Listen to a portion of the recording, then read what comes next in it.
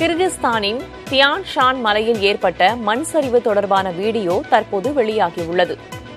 மலையின் உச்சியிலிருந்து புழுதியுடன் வேகமாக வரும் மண் சரிவை அடிவாரத்தில் நின்று கொண்டிருந்த சுற்றுலா பயணி ஒருவர் தனது கேமராவில் பதிவு செய்துள்ளார். அருவி நீர் போல வெண்மையாக உருண்டு வரும் மண் சரிவு மெல்ல படர்ந்து புழுதியாக அடிவாரத்தில் விழுகிறது.